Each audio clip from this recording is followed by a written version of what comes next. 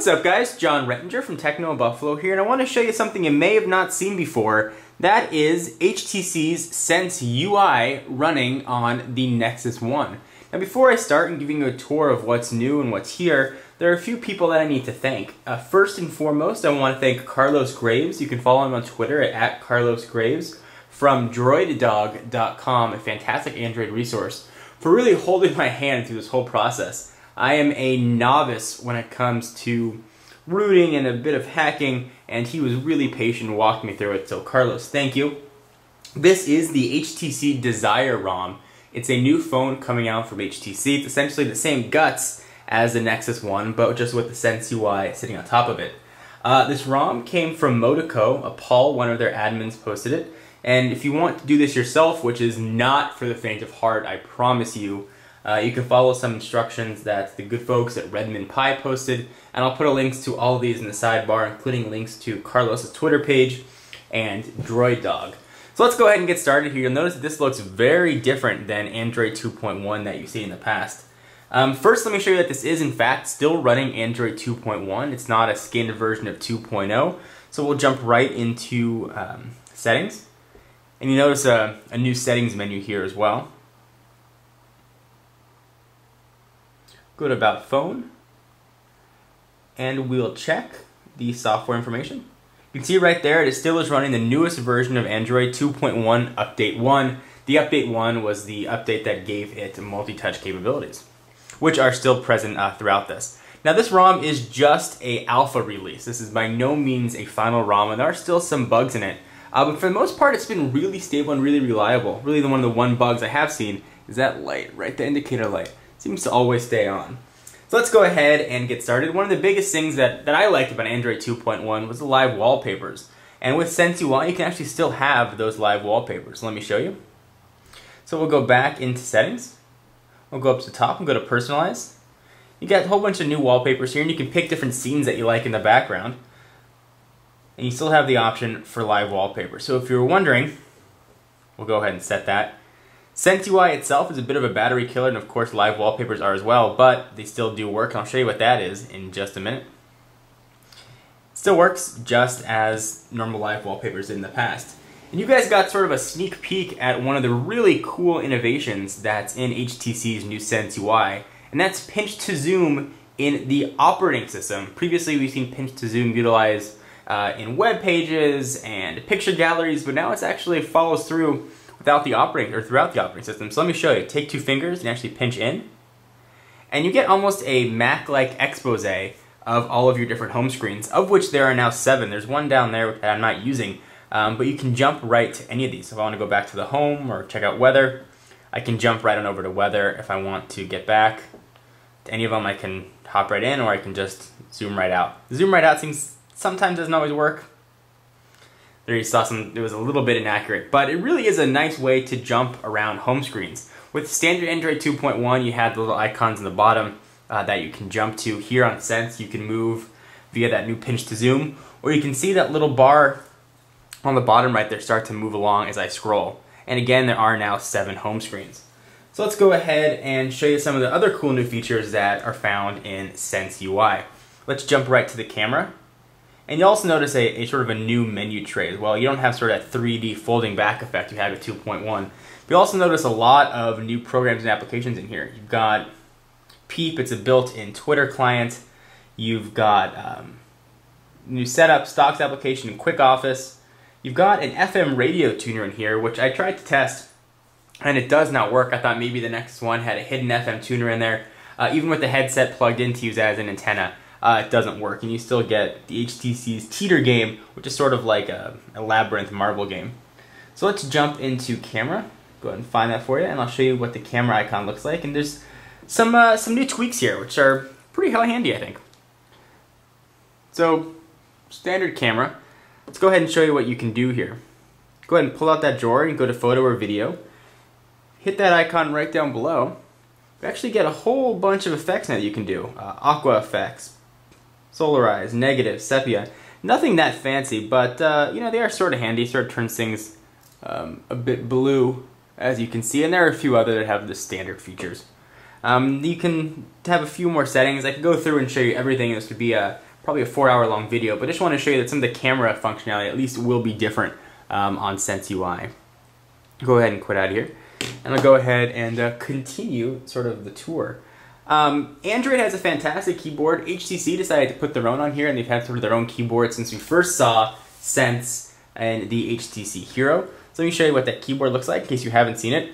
There you go. It's very easy to use, quick and easy to type on, and um, supports landscape orientation as well. And it still has the same auto correction features that you've sort of known to, to love in Android. They show across the top, you can just tap them, and you are off to the races.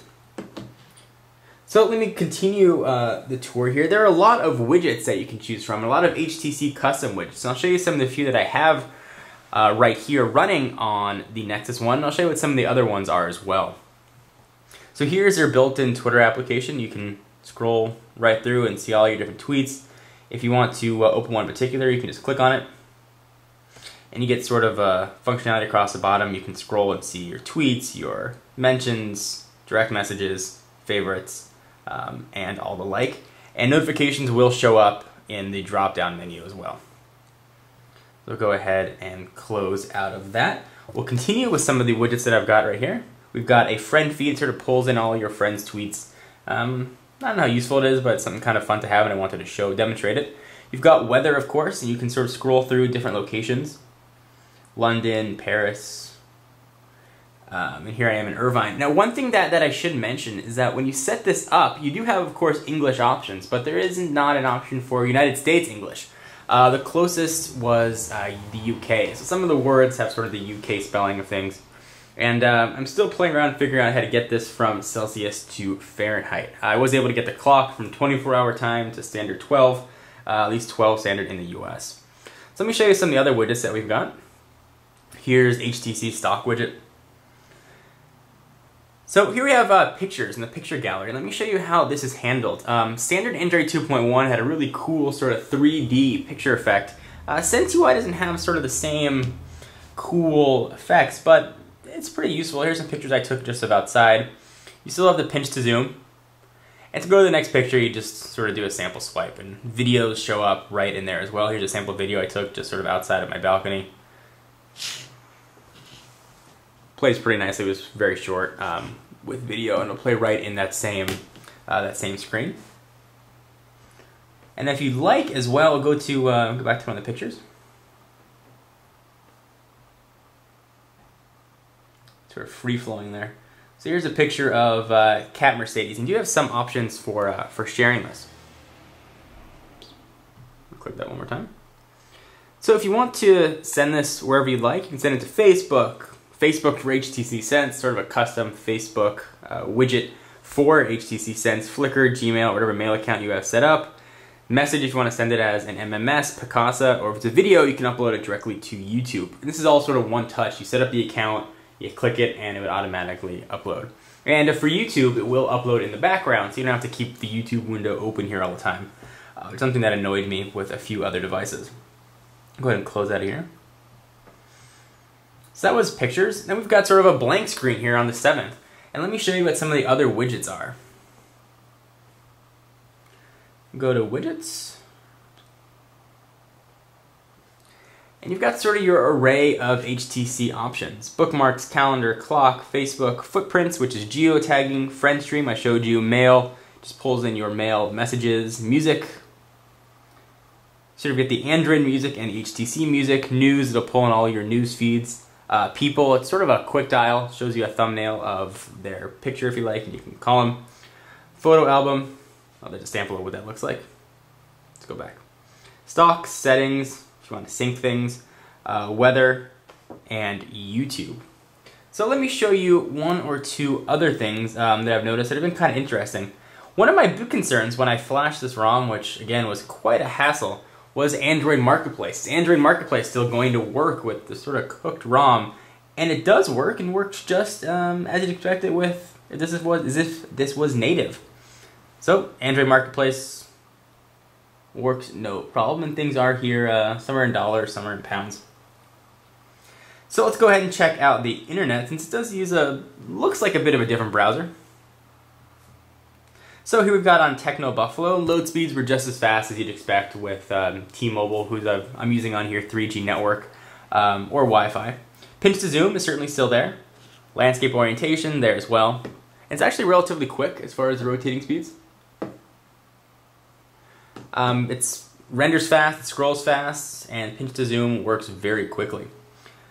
Go ahead and quit out of here. A few other sort of different things uh, to be aware. Instead of having it say 3G, it's going to have an H for HSDPA. Of the icons across the top are going to look uh, a bit different than what you might have been used to with Android 2.1. Uh, the lock screen you guys saw when I first turned this on is definitely different as well. It's sort of the HTC Sense lock screen. You just slide that down and your home screen is revealed. Now I'm sure there are a lot, you can see the clouds, you can see the clouds sort of go across the home screen. Uh, we saw that with the HTC HD2.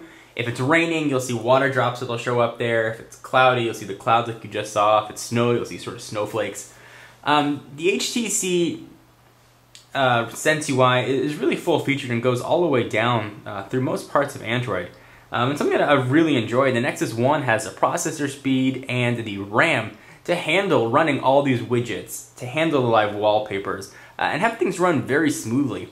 Now I have not tested battery drain. I assume this is going to be a complete battery suck, uh, but right now it's been been working pretty well. I've had it for uh, for a few hours, and things seem to be running nicely. And again, this is just an alpha build of the ROM. I assume as sort of the community starts to build and go from alpha, a few other alphas, and finally into beta and a release, that you're really going to see a, an improved experience. But right now, I think I could use this on a daily basis and probably use this quite happily. So guys, once again, if you're considering doing this, uh, it's certainly not for the faint of heart. I don't think I could have done this on my own without Carlos's help and his definite hand-holding. Something to keep in mind, and at the very least, a sneak preview of what you can expect with the HTC Desire, which I'm guessing is set for just a European release, judging by the language options. And guys, hope you enjoyed. For more coverage of the Sense UI on the Nexus 1, be sure to check out the YouTube channel and of course technobuffalo.com where you can get all your tech news and even create and monetize your own tech subblog, talk and create friends, um, talking about technology with our own custom-built social network. Anyway, I'm Jon Rettinger from Techno Buffalo. I hope you enjoyed, and I will see you in the next video. Bye-bye.